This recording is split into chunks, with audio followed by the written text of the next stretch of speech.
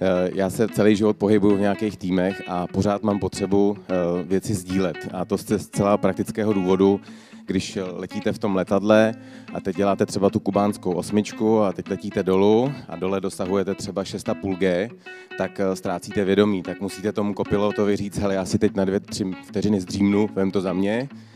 Když letíte naopak nahoru, děláte loop a děláte překrut, tak musíte říct, hele, to bude poslední, nebo se pobleju. You are nothing, to je moje životní moto.